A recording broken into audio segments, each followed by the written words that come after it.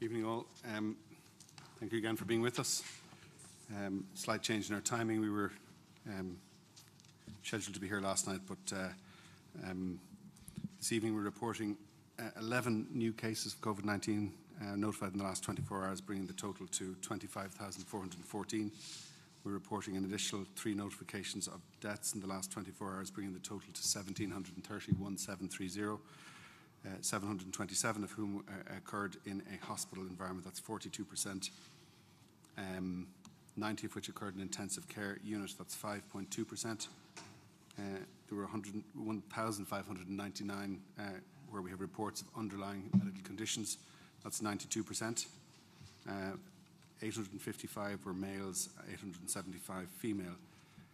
Uh, in terms of admissions to intensive care, a total at this point of 434, 12 cases in ICU as things stand this morning, um, and 24 in total in hospitals. Uh, no new admissions to intensive care in the last 24 hours, uh, two new admissions to hospital over the last 24 hours. And then just briefly in relation to residential care facilities, 473 notified outbreaks, 345 of which have been denotified, having achieved the, the status of 28 days without uh, a case. 257 of which are nursing homes, 190 of which have been um, uh, denotified now. Uh, in terms of cases, 7,137 cumulatively associated with residential care facility residents, 5,609 of which are in respective nursing homes. And the share of deaths, uh, 1,093, 1093 in respect of residents of residential care facilities, 970 of which were residents of nursing homes. Um, I have some uh, additional data that I just want to share with you, and just in terms of our picture as compared to some other countries, uh, particularly in the context of travel. Um, a couple of slides here, if you bear with me. So that just shows numbers of confirmed cases. Uh, this is at a global level. It's WHO source data for the last 17 da seven days, I should say, by country, territory, or area from the 19th to the 25th of June shows us between 1 and 100 um, and the light yellow you'll see the gradation going all the way down and you can see the various parts of the world. Uh, I think I've made the point in general terms before that maybe four, six, maybe eight weeks ago Europe was very much the epicenter of this infection. Uh, and you can see the relative uh, position of Europe compared to most many other parts of the world. Now this is um, a disease which is accelerating uh, as the WHO has said uh, globally and presenting a challenge to all parts uh, of the world, as you can see from that picture. Um, this data here shows us in terms of our 14-day incidence.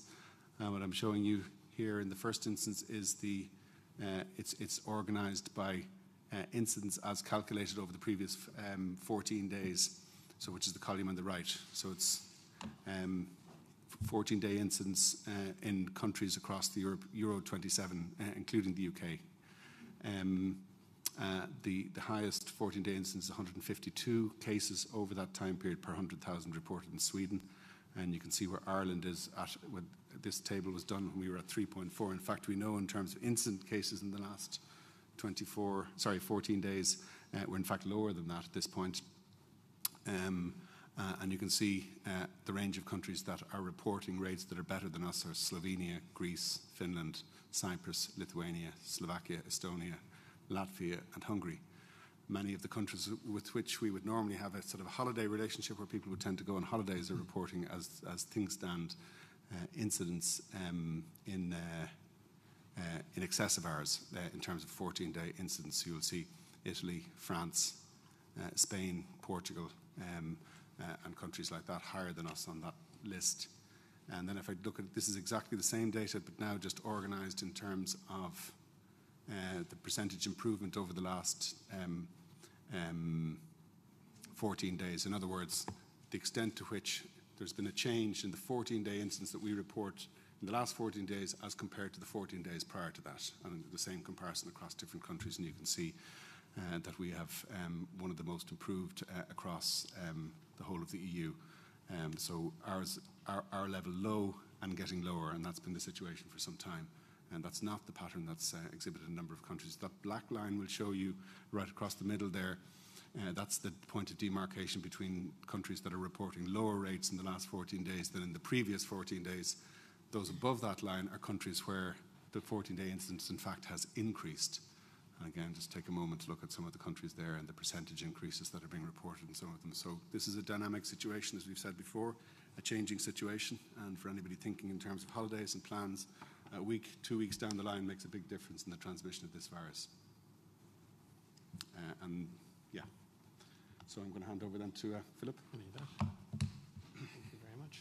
Thanks, Philip.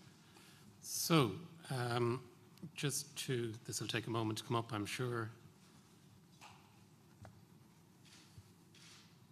Yeah. Very good.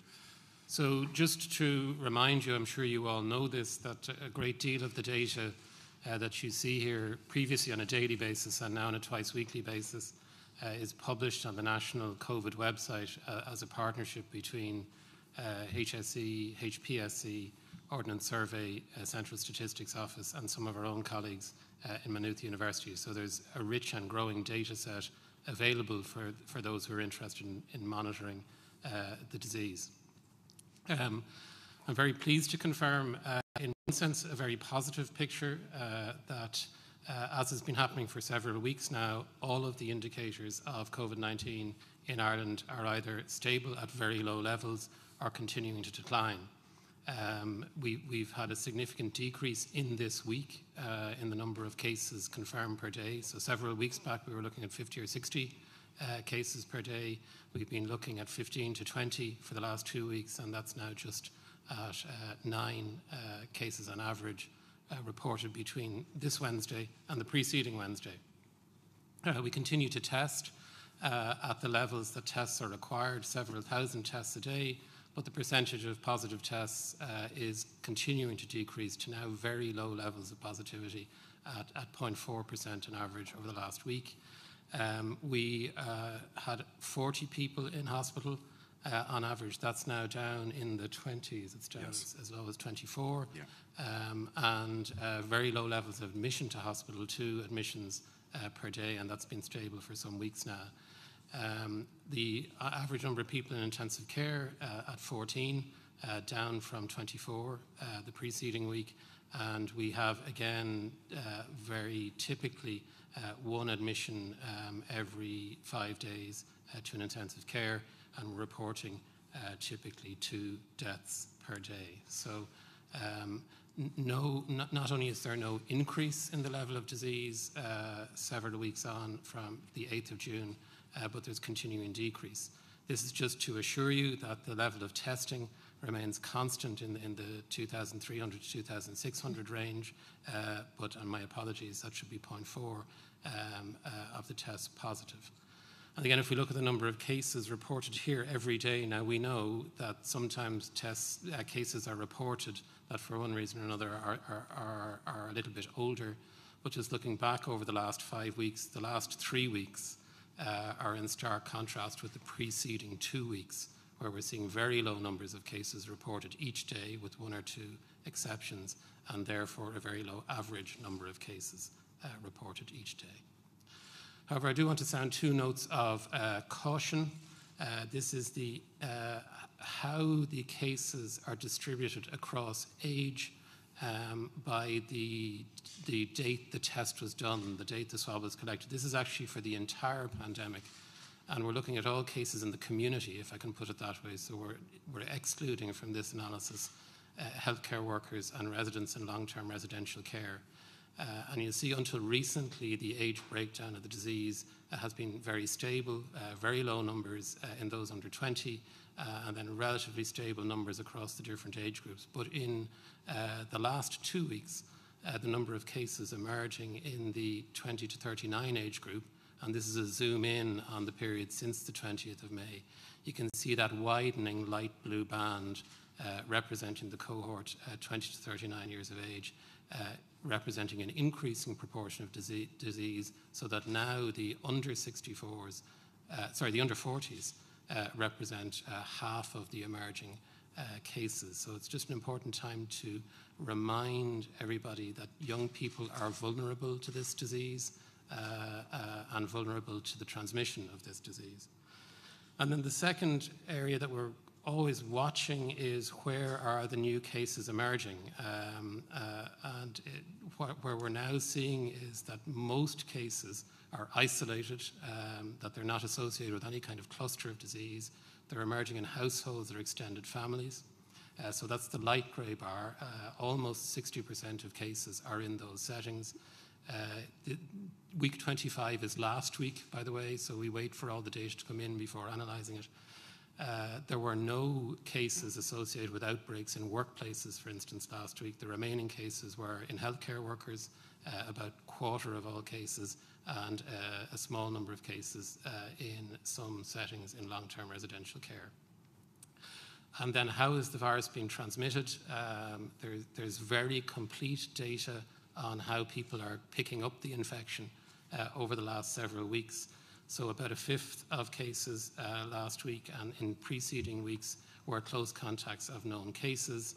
Uh, a little bit more than 30% were community transmission or possible community transmission.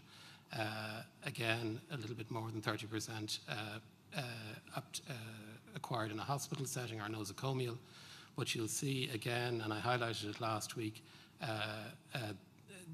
an increasing proportion of cases uh, relating to travel. So the red bar is travel. It was uh, an important mode of uh, uh getting the disease early in the pandemic, disappeared, of course, uh, in the middle of the pandemic when uh, nobody was traveling, and is now beginning to, to re-emerge. So those two trends in the behavior of the disease are noteworthy. Uh, it, it's it's uh, increasing incidence in younger people and the increasing uh, incidence of tra travel related infection.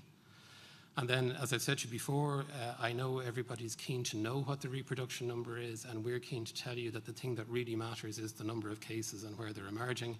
Uh, nonetheless, if we have a very stable or decreasing number of cases, that means the reproduction number remains very low. Uh, uh we have a variety of estimates. Most of them relate to what was going on uh, 10 to 14 days ago. Um, the most recent uh, techniques, the general additive methods, do give us up to date estimates. And that suggests that the reproduction number is somewhere between 0.5 uh, and 0.7 uh, over the last two weeks. So, very low transmission of the virus uh, within the community by all counts and then some areas where we do have specific concerns. Thank you very much. Thank you, Philip. Shane.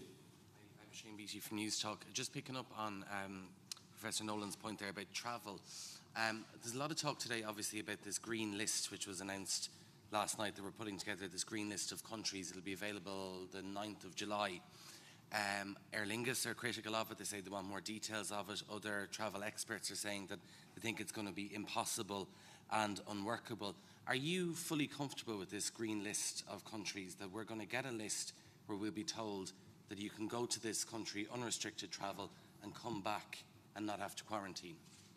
So the principle of it in public health terms, if we have a situation where we have verif verifiable information, in other words, information that we can trust about another country that tells us that the level of incidence they have in that country is at or below a threshold that makes sense from our point of view or at or below the level that we're at, then sharing of travel between those two countries, assuming the travel process itself uh, happens in line with public health guidance, uh, doesn't create an increase in the risk of transmission uh, relative to the transmission rate that would be here. So, uh, and there's no country that has eliminated this virus. So each country is reporting a threshold or a level, particularly countries that we have close travel relationships with. Uh, there are many countries uh, that were we, to were we to construct a list of such countries now where A, we could trust the information, and B, we could establish that that, le that level of that the information related to that country tells us that, the, that, that they are another country of low transmission and low incidence of the disease. Uh, there would be a lot of countries in Europe not on that list. We'd also want to know that the, the level that they had was a level that was a decreasing one and not an increasing one. So are many countries that may well be reporting low levels of transmission now, uh, but that, that level is an increasing one uh, as opposed to a decreasing one. We have a low level of transmission in this country, and we have a low and, and we have a reducing level of transmission. So that, and, and, and we trust our own data, and we have confidence in that, uh, and that that tells us uh, um, um, um, and gives us assurance, if you like, in relation to the transmission of the disease in the country. We need, we need a similar level of assurance. And the concept then uh, would be that were we to be in possession of trust, trustworthy information at the 9th of July uh, that met the criteria that we think are important, uh, then we could construct a list of those countries. But there are many countries that right now would not be on such a list. Uh, and it's, not, it's quite impossible, given that today is the, what is it, the 26th of June, um, that, uh, to say what countries would be on that list on the 9th of July. Mm. Because if you ask me what countries would have been on such a list, if we constructed such a list a week ago, some of those countries would not be on that list today. And I accept that that creates a challenge for people in terms of uh, plans, in terms of forward booking. But our public health advice is still the same. We are recommending avoidance of all non-essential travel uh, from this country, of people who live here, people who are planning travel outside of the country. We're asking to avoid planning travel at this point in time. Uh, and we're asking people who would be tourists planning trips to this country to avoid travelling to here. And as Professor Nolan has shown, we've now seen the emergence of uh, a number of cases. Uh, in relative terms, it might be a small number, but it's an increasing share of the transmission of this infection that we're seeing in this country, uh, um, the source of infection that we're seeing in this country associated with travel. Uh, people who've come here from a number of other European countries, uh, some parts of Asia, uh, and from North America in the last 14 days and bringing infection into the country. We're worried about that. We're worried about the extent to which that will continue to happen. If travel increases, uh, then the rate of importation of infection will increase. Uh, but, but what was announced last night was, was, was the concept of, in a situation where we could both trust and verify that we could have a relationship with another country that had a similar or lower level of, of infection. Um, uh, and, and, uh, and the plans essentially to announce that list uh, on the 9th of July. But it's impossible to predict what countries would meet that test. Our, our, our growing sense, if you like, in terms of the experience of Europe uh, in, this, in, in, in the last week or two weeks, is that there is a considerable risk, and we're seeing it play out in a number of countries, of increasing incidence and a resurgence of the infection in either whole countries or, or, or in sub-regions, if you like, or provinces or, or, or, or, or sub-national regions of, of countries across, across Europe. It sounds, it sounds like you're nervous about any increase in travel then. I'm beyond nervous. Um, there were widespread rumours politically yesterday that you were very unhappy with the announcement that was going to be made about a list and about creating any sort of expectation that by the 9th of July there would be a list of places people could go. Is that true? Were you unhappy yesterday? I've told you that we're concerned about travel as a potential source of infection for this country. Uh, it makes sense to me to be in a situation whereby if there's to be travel happening, and we have travel happening on the island, so we move around the island, and in a situation where we think people are moving from one place where the transmission rate, and we know it to be broadly similar to other parts, we think then travel is appropriate. If we extend that to the international scene, uh, if there are countries uh, that, that have, as I say, verifiable information, um, that um, um, tells us that they are either below a threshold that makes sense to us in terms of a level of infection or below the level of infection we have here, uh, then, then we can contemplate such arrangements. And the, the concept of such a list is, is to come up with countries that might meet that criteria. If we were constructing such a list today, and if it was based only, for example, on countries that had a better than us reported 14-day cumulative incidence rate, it's a relatively modest number of countries. And for the most part, uh, um, I, I, can imagine very nice countries to visit, I've no doubt, but not necessarily the countries that people from this country would usually or traditionally tend to visit. So at this time of the year, when people think about Europe, the, it, it, the, the, the, Frances and Spains and Portugals and um, um, and so on would be the kinds of pla- and Italy's and so on would be the kinds of places that we'd all be thinking about going on holidays to.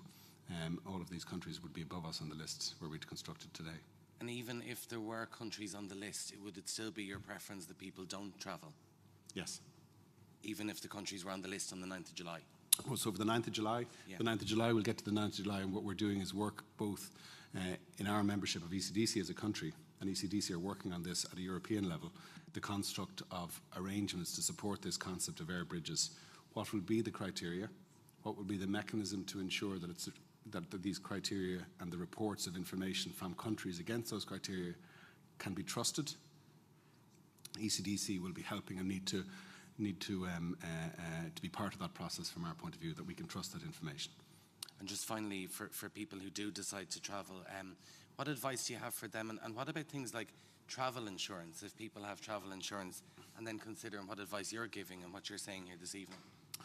Uh, so at the moment, the Department of Foreign Affairs has a very clear travel advisory in relation to non-essential travel, and I'm no expert in insurance, but my understanding is that would invalidate travel insurance for all, for all, let's say, healthcare that, that travel insurance would normally co cover. That is my understanding.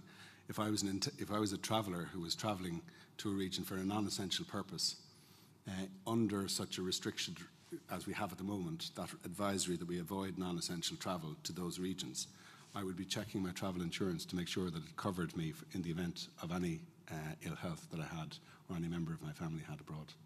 Great, thank you. Thank you, Shane. Zara King, Virgin Media News. Um, just following up on the travel questions from Shane there. So, yesterday you had said NPHET expressed a clear view that overseas travel poses a risk to the importation of the disease and to further transmission in Ireland, and you've reiterated that several times this evening. Um, yet, I suppose we're hearing from government yesterday about the green list and the possibility of travel resuming in July, and we're hearing from all of the airlines that they are quite excited to resume travel as well. But you're not on the same page, I'm correct in saying that. I mean, you would much prefer people to do staycations this summer, is that correct? So, uh, certainly, I think that planning staycation would be a good thing. Uh, it, it, wouldn't involve the, the, risk of travel to other countries uh, that I've just described. Uh, the process of travel uh, itself is one that will have to be, you know, carefully managed to try to ensure that as we travel through airplanes and airports and so on, the risk of transmission in those settings is minimised and that they, there is compliance with public health advice. So yes, of course, staycation makes sense, uh, and it fits with I think something we've seen very well over the course of this entire pandemic: the, the, the solidarity of the whole of the population, the whole of the community supporting one another through this. Uh, and so I certainly intend to, if I manage to get a few days off, to ensure that I spend whatever money I can spend uh, in this country, supporting business and, and, and uh, activity in this country. Uh, in terms of the, the, the work of governments uh, to try to find a basis, along with a number of other countries at a European level, to find a safe basis upon which we can resume airline travel makes sense. So, but we, what we will want to ensure and what the government wishes to ensure is that that is safe in the first instance. And that's why I stress uh, that it will be on the basis of criteria that can be verified, that it will be reported levels of incidents that make sense relative to the incidents that we might experience in this country, uh, and that we're not uh, opening up arrangements to countries that represent a risk in terms of importation on the basis that there are higher transmission levels in those countries. Uh, and as you can see, the list of countries and, and, and the nature of the countries that are higher than that on the list, even just in Europe, leave, leave, leave alone uh, other countries in other part of, parts of the world, uh, there are very many more countries, in fact, at a higher level than us, than, than, than below us. Uh, in terms of airlines, I can understand entirely the position of airlines, and, and, and, and there are airlines I know who are marketing uh, for understandable reasons, um, services and flights and so on to the population. Um, uh, for, for public health reasons, my advice to the public is to, to listen to us in terms of uh, public health advice uh, and not to the airlines. And so, realistically, then looking at the list there, as you say, anywhere kind of below Ireland, then if we were to make the green list today, would possibly be on that list. So you're looking at places like Hungary, Latvia, Estonia, Slovakia, Lithuania, these types of places that might make the well, list eventually. Well, well, that table isn't necessarily the, the, application of the yeah. criteria, but yes, I mean, if you were looking at it today, you'd be looking you at have factors. To make the decision today, so we're looking, at that, yeah, yeah, we're looking at the level, and we're, we're also looking at what's happening. And is that an increasing rate, or is it a decreasing rate? Mm. So our rate is both low and and reducing.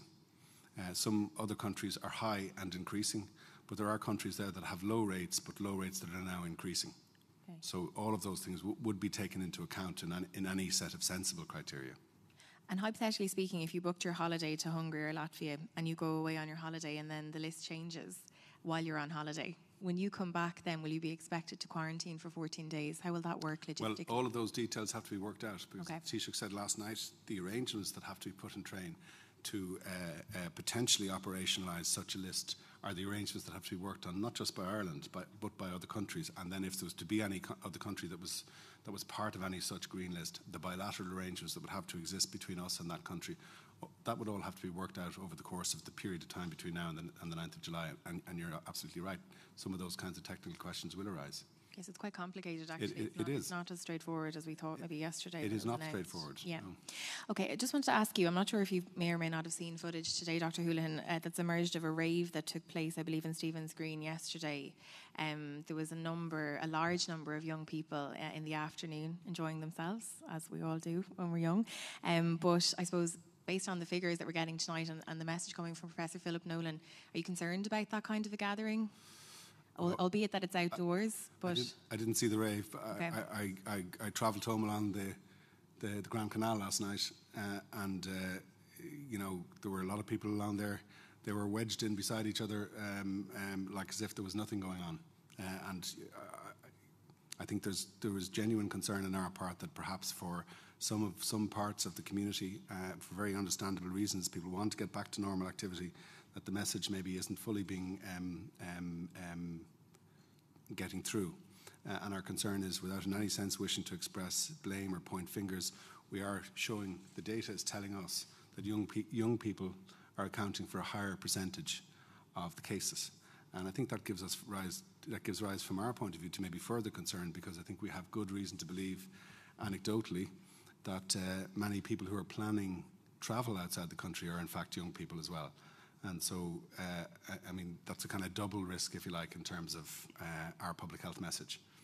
Uh, so we're saying, uh, um, in, in terms of travel, we're saying in terms of young people, uh, to listen to the public health advice. Please, Siobhan, yeah. Just for younger people, you know, it has been an extraordinarily difficult time, but we're now finding that people are taking longer from the time of development of symptoms to going to getting tested. Uh, so if you do develop symptoms and you are some, you know, try and keep a good, good record of your contacts and be as honest as possible if you do test positive. And also, if you do develop symptoms, don't ignore them. I know it's the hay fever season, and some of the symptoms are similar, but don't ignore them. Do get medical advice and do get the help that you need. Just two really quick ones then at the end. Um, maternity hospitals, uh, expectant partners of expectant mothers have been messaging me and campaigning for greater access. Um, are we any clearer on that? I asked the HSE the other day and they said NPHET was to consider it. So Okay, so we're, we're working on that. Uh, we're working on guidance for visiting to across the healthcare sector. Obviously, there are going to have to be local arrangements depending on the size of the hospital and how many people they can have in, but that's being worked on at the moment. and when do we think we'll have an answer on that? I would hope we'd have guidance out in the next week or two. In the next week or two. Okay, great. And finally, um, Dr. Holohan, sleepovers for grandparents. When can the kids go for a sleepover at Granny and Grandad's? When is it safe to do that? Look, as we move along through this, it's, it's going to be appropriate for people to start to make some of their own assessments of these things. We, we've given clear advice in relation to people who are in the cocooning age groups, the over the age of 70, people with underlying medical conditions. Um, uh, we've given clear advice in terms of social distancing and so on. Um, uh, we, we will continue to emphasise the need for people in the vulnerable groups to be cautious um, and to take as many precautions as possible. But we know and we understand that normal life uh, will resume and will have to resume in various ways. And our job will be, as we move through this and as people now begin to uh, um, uh, get back, if you like, to usual, normal economic, social, family activity, that some of these kinds of activities are going to happen. Our role is going to be to continue to monitor the impact of this disease. Uh, it's spread through the community where the particular uh, challenges are, are arising and to give our advice and guidance in relation to that. But we'll continue to emphasise the importance for people um, in the vulnerable groups to take every measure they possibly can, familiarise themselves with the kind of information that we have in the Stay Safe guidelines.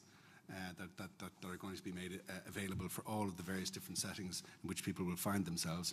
What are the simple measures that you need to take to try to protect yourself and to try to limit transmission uh, of the infection? So to be clear, for grandparents that mightn't be immune compromised, who might be fit and able, can they start to take the grandkids for sleepovers from next So- week?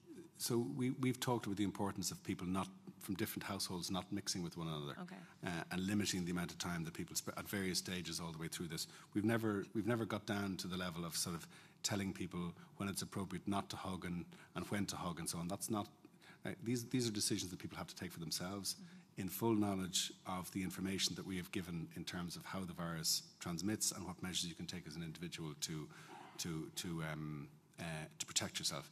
And the answer to that question is going to, is going to be different for different individuals, and, and different individuals in the same will take different decisions because the practical issues that might arise in fa- so this, a sleepover in one particular family might be a vital form of child support and another family it might be more of a a luxury. And in some situations, it might be something that happens very regularly. In other situations, something that happens infrequently.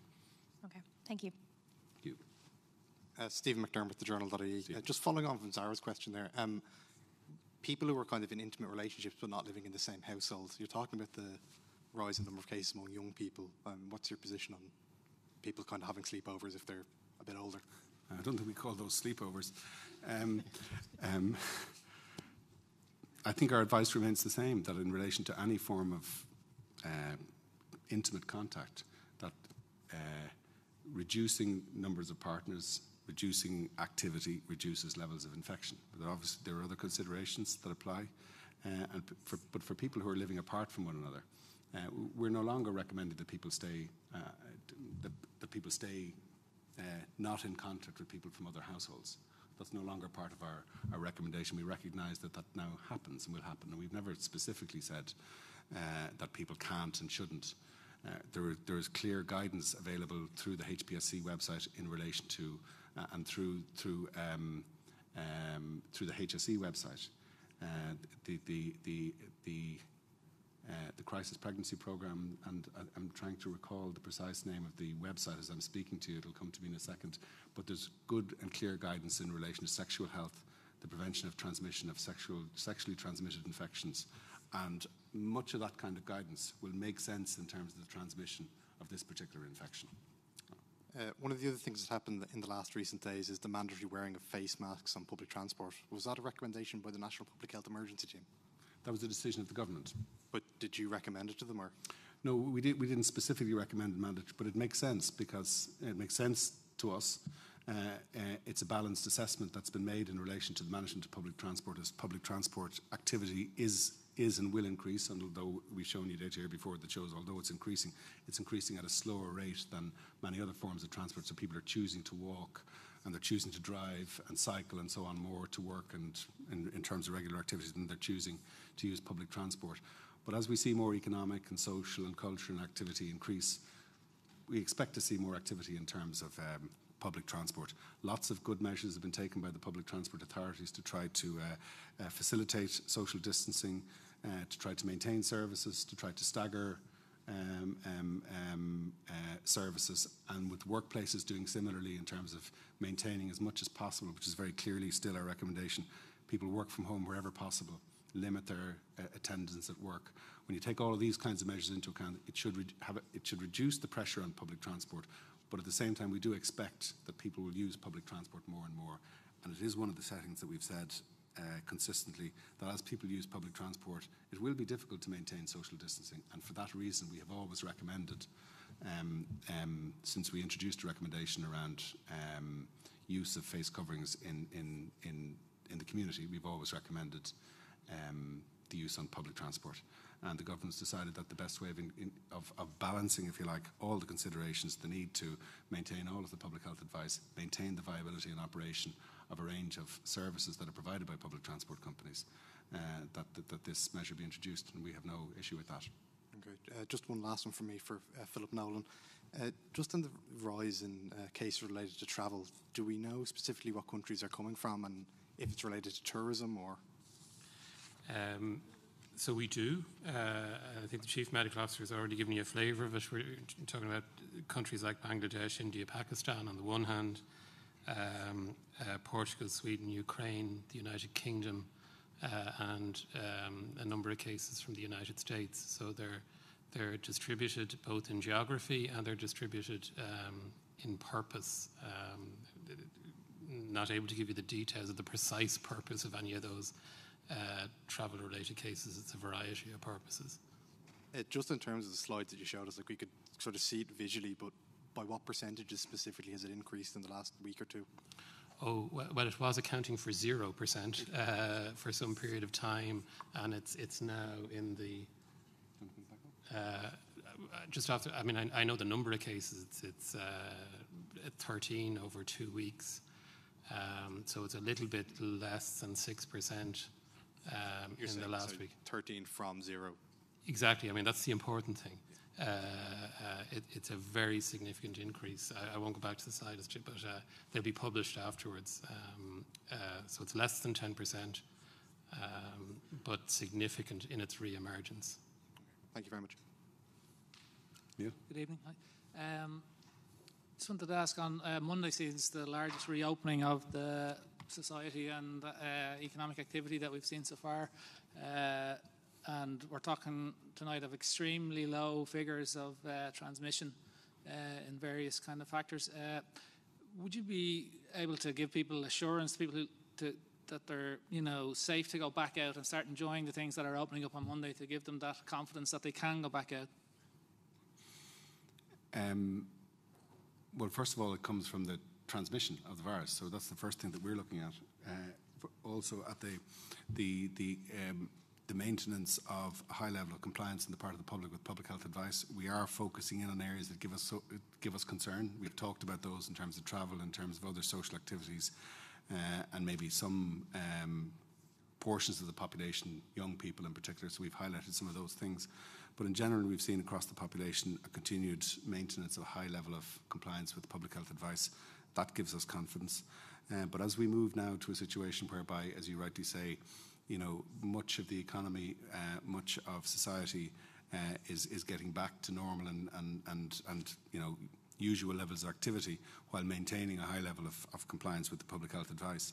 Uh, our role will be to focus now on what what the impact of that is in terms of transmission of the disease and to watch very very closely. So it's one of the reasons I've said that we look really closely now every day and obviously the numbers of new cases and all the new data that occurs in that day, but to continue to look at the the most recent 14 days. We're treating, in effect, the most recent 14 days of our experience of this infection as though it were a new infection and trying to sensitize everybody to the fact that, like, although these are low numbers of cases, we really need to be very careful that we don't start to see a small change, then we pick that up very, very quickly. Um, um, and we can all become a little bit, as it were, desensitized because it's not that long ago since the numbers I was giving you here each day was like 600 and 700 and 800, and the numbers that I'm giving you now are 6 and 7 and 8. So it's a very changed situation. But we have to watch the trends that might occur uh, very, very closely. So we're treating that most recent set of data um, uh, as though it was a new infection and, and watching it with that kind of degree of, of sensitivity and, and, and care. Um, and so we think if we continue to take those kinds of measures, um, um, that if something happens, and a number of countries, uh, in spite of their best efforts around easing of restrictions, have seen resurgences of infection. Uh, if that is to happen here, if we're to see an outbreak in a particular area, if we're to see a generalized resurgence in the incidence of the disease, we need to be in a position to pick that up as quickly as possible. It's one of the reasons why we're now focusing on, after uh, uh, we get to the end of the easing of restrictions, what might be the arrangements that would be in place were we to see a resurgence of the disease uh, it wouldn't, as I've said on many occasions, be the same set of measures that we put in place as a country um, on those three separate occasions over the course of, of the month of March. We'll watch very closely. Uh, I don't want to be singling out um, particular, but we'll watch. I mean, there are parts of you know where we're focused in on that do give us cause for concern. We we we know that we're going to see, uh, and we'll all welcome it. Uh, restaurant activity starting to happen, as if I was to choose one example, over the course of the next number of weeks and restaurants, we hope very many of them will, will, will be able to open again and that people will be able to enjoy that experience. Some of the pubs will begin to open as restaurants. The extent to which we see people behaving, both in terms of publicans and the public behaving responsibly in relation to all that, that will continue to give us encouragement as we move towards the, the next set of, uh, of easing restrictions. And we'll watch that uh, and the extent to which we see um, uh, continued high level of, if you like, responsibility parts of the economy and society that are open. I've said it on many occasions. For example, retailers, those have been open since the very beginning, have been really responsible uh, and have led the way very often in, in, the measures that they've taken themselves to try and protect both their staff and the public. If we continue to see that uh, um, through the, the businesses and the organisations and the services that are opening uh, again from Monday, that will continue to, to, to have us express confidence. Mm. So you've said you'd be, you know, confident to go on a staycation yourself or something like that and support local economy. So presumably, where the public health uh, advice is being adhered to, you'd be you'd be confident yourself to go and enjoy a restaurant or enjoy a bar that's behaving responsibly. I would look forward to it. I'm honest, yeah. Right. okay. um, sorry, just to ask you, you mentioned a couple of times uh, the trust factor in terms of foreign co- other countries in terms of travel. Is there a particular concern around the trust in figures in any particular countries we're talking about, or is that a, no, it's a not, systematic thing about ECDC numbers? It's not so much trust in the sense of, you know, not, but different countries have different testing arrangements, for example, in place that can then change, if you like, or give. So we have to not just know what the level of cases are, like there are other factors that we would take into account, what the testing practice is in a country, and there are very different practices in different countries, and then also what the positivity rate is. So if we just reflect in this country, you've heard me saying that our incidence rate is low, uh, that it's falling. Uh, all the other measures of the disease are also falling at this moment in time. We're testing at a high rate in relative terms, uh, and the positivity rate from that testing is very low. Now, not every country in Europe that we're proposing is in a position to be able to, to make the statements that I've just made uh, um, in terms. Are there any in particular that you're concerned about in terms of those? Well, you, you can see the like. So it's not our. It's ECDC data. The, you can see the, the countries that. So countries that are reporting. So there's some countries that are reporting incidence rates that are above 100 cases per 100,000. We're below three per 100,000. So that's many multiples of the rate of infection in this country.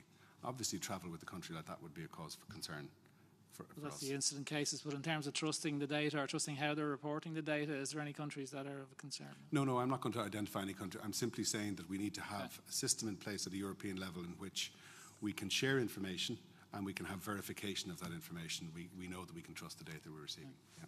And just finally, the, you have a new publication of Stay Safe guidelines here Yes. this evening. Is there uh, anything you'd like to say about that, or anything new in that for people to, or what message you'd like them to take uh, succinctly from it? Yeah, well, obviously, we're, we're now in an era where the, the risk of getting COVID is now part of our daily lives. So, uh, and it's going to remain so for the foreseeable future. So, we really want to just emphasize the important message of how people can protect themselves from now on. As I said, it's here with us for the foreseeable future. So, the basic public health messages remain the same. And there, there are very key things that people can do is watch their distance between individuals, um, watch what they're doing with individuals. Obviously, the longer the time that you spend in a, doing a particular activity is a risk. And obviously, the environment is also a, an important factor. Indoors being riskier than being outdoors, for example. So there's a nice comprehensive list of, of a to-do list in the booklet, and certainly it should be essential reading for everyone because I think now's the time for everyone to be informed so that they can be safe and also to take responsibility for what they're going to do from here on. Okay, thank you. Thanks, Neil. George. Hello, Tony. George Lee uh, from RTE. Um, well, first, the question I think maybe maybe Philip might know the answer to this. Um, the incident, you know, when one looks at the different age groups which we have, in terms of contact tracing, we have obviously got regular data now in terms of close contacts of those who are um, testing positive. Do we have an age breakdown? And what's in my mind is a question in my mind is: Do younger people have more contacts than older people?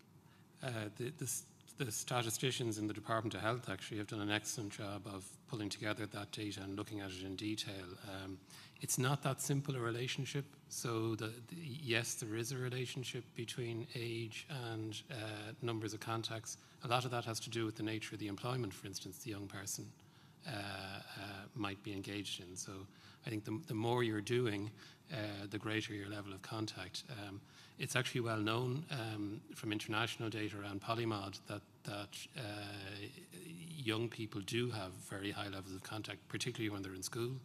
Um, and I, I think anecdotally it's clear, and also from the contact tracing data, that that, school has now been replaced with other forms of social activity. Uh, so again, I, I really want to emphasize uh, that young people have had a very difficult time over the last uh, several months in terms of the impact of uh, COVID and the public health measures on them and their lives. Uh, they've done extraordinary work to bring us to this point where, where the virus is essentially suppressed in the community. I'm just saying, can we let's be careful not to squander this opportunity. This is not the time to move from very, very low levels of contact to supernormal levels of contact and exponentially increasing the risk of transmission. This is the time to prioritize your contacts. You know, this is the opportunity to get back out there and be, be with each other in ways that sustain our economy and our mental health. And if we overdo that, we could squander that time that we have to be together in a limited fashion uh, by reintroducing the disease into the community. So it's not, it's not a blame game. It's let's remind ourselves that, that we're in a very delicate position here and overdoing it for any segment in the population uh, could have us back in a circumstance where we're unable to have uh, these kinds of mixing between households. So it's a question of prioritizing. We can't go back to doing everything we did the way we did it. We need to prioritize the contacts to those that are most important to us. And if we do that carefully, then we'll be able to sustain those contacts over months because we won't be transmitting the virus in the community. Okay. Uh, Tony, now I notice that you don't want to mention countries, and I do understand that, but it does scream out about um, the difference. The one which, lay, which was, took a different approach to everybody else was Sweden. And I wonder about it because, um, to some extent, we're all Swedish now. Uh, there's much more personal responsibility. People are, you've explained, and we've explained for months, the risks associated with this. We're going out into the community. We're not um, cocooning in the same way. Uh, there's a great extent to which what we are doing now is quite similar to the impression that one might have had about the Swedish approach in the beginning, where it wasn't lockdown and people could do things sensibly. And I'm just struck by the numbers which were put up there, which show the incident rate mm. in Sweden today. Mm or in the last 14 mm. days of it's 45 times higher than ours mm-hmm. 152 and a half for 100,000 people versus mm. 3.4 and although one doesn't want to make comparisons with countries but is there a lesson there about the risks that we are taking uh, if the approach which is a more relaxed approach to lockdown which the Swedish have taken has resulted in today them having 45 times more the incidents that we're playing to some extent a dangerous game if people don't pay attention to the rules and to their messages, which Philip has just outlined and that you continue to outline. Sweden tells us something, does it not? Uh, it does, uh, and I think the world is learning about this infection and the measures that are needed to try to suppress it. Um, and for quite a period of time, uh, Sweden has spoken about it, and none of us knew what the impact of the various measures that were taken in, those, in, in, in that particular country were. Um, there has been a challenge in terms of continuing transmission there. Um, uh, where we would agree with Sweden, and I think part of their analysis is that we can't maintain uh, the economy and society switched off in perpetuity. Uh, we know that because it has broad uh, impacts, not just in economic and social well-being, but in terms of impact on health uh, as well. Um, uh, what we think now, we, the measures we've put in place in this country, and no two countries have put in place exactly the same set of measures. There has, so there is, there's a bit of variation uh, between countries, uh, even those that appear to be very similar. Uh, they have worked in suppressing the virus to really low levels in this country. Um, uh, and and uh, what we think now is if we maintain a high level of those kinds of behaviours, and you've likened it to the kind of strategy that's been in Sweden, we think that that can help us to maintain suppression of the disease. Uh, and then with the vigilance that we have in terms of our systems, the first, if you like, go back to what we would have said at the very start, the front line of this being uh, a responsible and responsive and aware public. Uh, understanding symptoms, understanding how to respond to those symptoms, understanding the means to, to limit transmission, etc. If that's our front line, if the next line then is a really effective public health system of, of sampling, of testing, of contact tracing of those public who are coming forward responsibly, responsibly quickly to symptoms.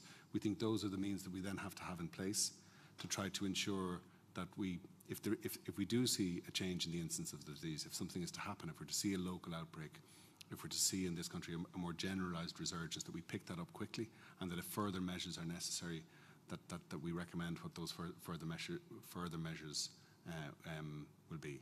But there is, you're right to say, uh, a substantial variation in the incidence between countries. Um, Sweden is at the moment um, uh, has a high incidence, at least in relative terms, compared to many other um, European countries. But there are quite a number of other countries that are up uh, in a situation where their most recent 14-day incidence is many multiples of the, um, it might not be 45 times, but it's still many, many multiples of the incidence rate that we've reported in the most recent 14 days, which is why our, our, our, our urging of caution. And it's also why we think we can't produce a list of countries that might meet a criterion in three weeks' time. Uh, if we were to look right now, um, you can see what kinds of countries we'd, we'd, be, we'd be concerned about. I think the lesson to be learned from Sweden is you have to suppress the disease. In the first place. In the first place, yeah. before you can relax. And if the disease resurges, you have to suppress it. You can't take a relaxed approach to this virus. That and they I have. suppose from the clinical side, if you look back to where we were three or four months ago, we've had a massive benefit in this country from the fact that we were a couple of weeks behind Northern Europe and Spain. We saw what happens in those intensive care units and those residential care facilities. We really, really don't want to go back there. So it's very important, even if we are a tiny bit behind the opening up in Europe, we're still in a position to learn from what's happening in Europe. And I know Philip's team is watching that very carefully. So I would go in with what Tony has been saying and Philip and, and Alan. We can't be careful enough about our personal behaviours when we're out and about. Of course, we have to start going out and about again, start mixing again, but we do need to really stick to our respiratory etiquette, keep our distance, and keep our social keep our social groups relatively small insofar as possible. Okay. Um, if, if I add one final thing to this, George, uh, go, go to the most recent ECDC guidance, which is uh, it's two weeks ago today. I think it was published, the tenth um, risk assessment. That has a, a table of uh, in it of the kinds of measures, what they call non-pharmaceutical interventions. So the kind of social restrictions that we've had in place here, the kinds of ones that they think will be needed in some way into the future after countries complete these phases of easing of restrictions. And there are things like mass gathering restrictions, a range of social distancing measures, and other measures that the ECDC is recommending countries have on their menu, if you like, on a continuing basis. So, in that sense, uh, there isn't going to be a going back to normal uh, in the way that we had activity before. We will have to maintain, if you like, a blend of, the, of these kinds of measures in perpetuity, even if we, we, we get through the four phases, and we're now at the start of phase three. Uh, if we get through the four phases successfully in disease terms, we'll still have to maintain uh, an, a range of measures across society, as well as some of the kinds of very important public health behaviours that we've we've continued to emphasise. New normal as such. Exactly. Okay, there are two, just two other issues, if I wouldn't mind mentioning. They both were out today. Uh, one was that the, the, Minister for Health announced that he has signed Ireland up to this solidarity, COVID 19 solidarity trial, uh, which I understand is testing about four drugs, such as remdesivir and so on. Uh, how important is that decision, and how useful is that decision for us to be signed up to that? Well, it's important that we're part of both uh, international solidarity and that we're part of the international research effort. Uh, this is a new virus. Um, uh, there's, um, um, we're still in a situation where we have very few in the way of proven interventions. We don't really have any new drugs available for this disease uh, relative to where we were back in February. And the only way we're going to be, to be able to establish uh, is, to, is to be part of international efforts. Uh, consolidated, well structured, uh, of the kind that WHO is in place that we're now signed up to. So that's really good news for us. And the second thing is, is related to the app, the, the contact tracing app. Uh, and I think what came out today was more about bringing the public with uh, the app as such, because it was about publishing um, the, the, the data commissioner's report on it, publishing the source code, publishing information about it. And yet I know internationally there appears to be some questions about some of these apps. So I'm wondering where we are on this app. Obviously, we're trying to, you're trying to inform the public that information, if they use this app, will not be kept. It'll be uh, anonymized and so on. And an education process is important. But um, the international concerns about it uh, are what ringing in my ear. I mean, is there clarity? Are we, are we at the point of using this app, which other countries have a difficulty with, or where are we on that?